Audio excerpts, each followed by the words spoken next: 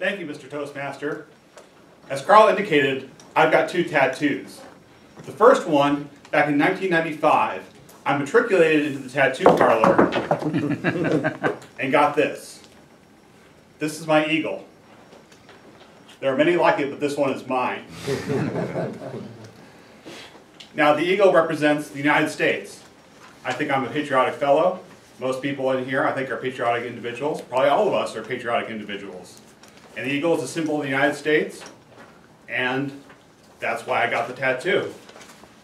Also, it happens to be a cover-up of another tattoo that got misspelled during the initiation process. So, the eagle, the inner part of the eagle, the thick black part, went over that tattoo, and I don't think you can see any lettering, especially not from the back. But I want to talk about my other tattoo. That one is most important to me and has the most symbolism and is near and dear to my heart. That one is on my other shoulder. Now, who in here speaks French? No one. Okay, Tom, maybe a little bit. well, I'm going to write it out for you. Now, it might be difficult to see from the back, but I will explain to you what I'm writing down. The same words that are on my tattoo in French.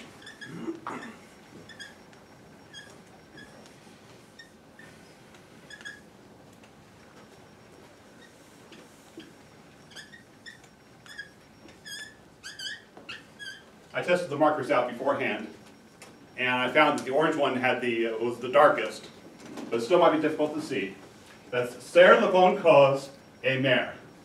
Serre, serve, la, the, bon, good, cause, cause, a, and, mer, die. Now, I worked for the United States Intelligence, the Defense Intelligence Agency, and you have to be at least a little bit suicidal to work for United States intelligence. But this isn't about suicide. And that gets me into a little bit about the other symbolism of my tattoo. The letters on here. A, N, and most recently, an H. The H is a little darker because I, a year and a half after my daughter was born, I got the H added on somewhat belatedly. But the, these are the names of my children. A for Adrian, my oldest, 17 years old, about to be a senior at Pacific Grove High School and graduating next year. And for Nicholas, my second oldest, 15, who's a real sweetheart, loves playing video games, loves watching videos on YouTube. Hopefully he doesn't find the NPS Toastmasters videos on YouTube. and H for Heidi. That's my daughter, born October 26th, 2016. And we're all in good stead here because Arnie, of course, is her godfather. Certainly, I would die for my children. The last thing you want to do in your life is bury your child. But certainly, it's the natural course of events that your child will bury you. However, I'd much rather live for them than die for them. But that's what this is all about. Serving the good cause and thinking about the deadline. Thinking about all the time in life that you have. We all live on a deadline. Eventually, we're all going to get there. And it's all about what you do between this moment and that moment. There's another part of the tattoo. A nice big circle with a star. I'm not the best drawer, but imagine this is a five-pointed star.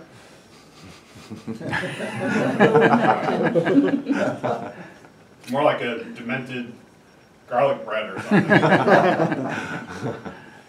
and there's a head in the middle of it. Now the head was originally taken from Gray's Anatomy. And it was taken by a band called the Sisters of Mercy, not, not the Order of Nuns, rather the band, the Sisters of Mercy, if anyone is familiar with them. It's the old uh, logo from their uh, publishing company, Merciful Release. One of my favorite bands, but the symbolism behind the star and the head inside the star is to get inside your head by any means possible. Again, serving the good cause and thinking about what you have left in life. Getting inside your head, right thought, right action, the Buddhist thing. You could even think about the death of the ego, the cessation of desire, cessation of attachment. All those things are incorporated into my tattoo, and that's why I got it. Also, I just happened to get back from Baghdad, and I thought it was long about time that my left shoulder have a twin to my right shoulder. Now, if I was really had a sense of humor about it, I would have gotten something totally opposite from the eagle, such as a swastika. Absolutely terrible. But rather, I chose to memorialize one of my logos, or one of my uh, ethos in life. But people ask me, why French? Why is it in French? And that's because, much like the band logo in the middle, I stole this from the French Foreign Legion. Anyone familiar with the French Foreign Legion? Oh, many of you. Excellent. At one of my favorite movies, Beau Travail, at the end of it, there's a legionnaire who is bearing this tattoo, Serre le bon cause et mer, and I lifted it from there. I combined it with my band logo, I added my kids' initials, and I made it my own.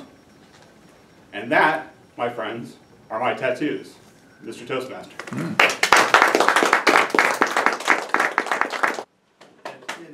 it's certainly an honor to evaluate Andrew's speech, and I, I did have that opportunity to hear the speech that, that he gave and see the feedback that he received and hear that, and then watch this speech as he incorporated it. There are three things I want to talk about that I think are particularly excellent in the speech, and then I'll talk about a few areas for improvement. And it happens that the areas of excellence along with the areas of improvement are interrelated.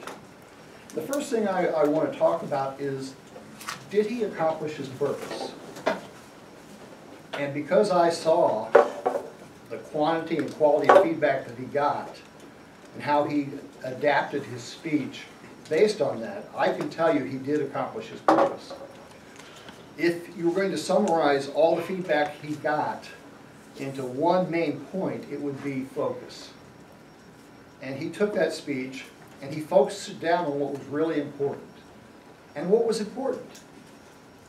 That leads into the second major positive of the speech. And that was the symbolism and the symbols, their meaning to him. And he revealed those to us in a way that was much more cogent, with greater clarity. He reticulated from the first speech to the second speech in an excellent manner. And as a consequence, because he revealed the symbolism and the meaning to us in more depth and with more clarity as he gave the speech, there was greater audience interest and understanding of his message. Those are the things that I think were particularly valuable and particularly strong in the speech. How could Andrew make this speech better?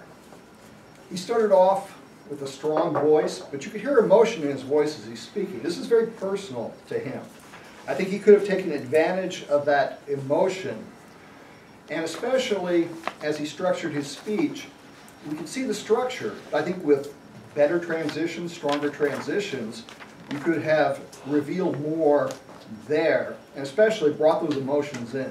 Now, this is my first tattoo. It's a cover-up. It's an American Eagle. It means something to me. But my second tattoo, this is where my heart is, and this is where my professional and personal life all come together.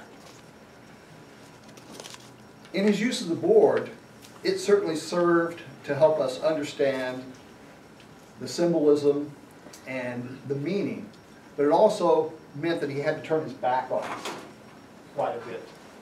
I would suggest that you may want to go ahead and write the things up there and just underline them for emphasis, or maybe use PowerPoint or something like that to help you um, with that.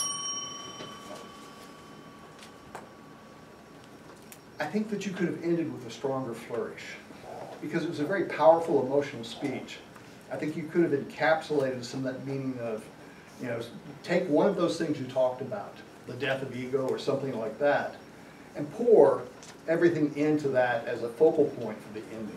It was an incredibly good speech. Thank you for taking on this path, and I'm looking forward to your next project.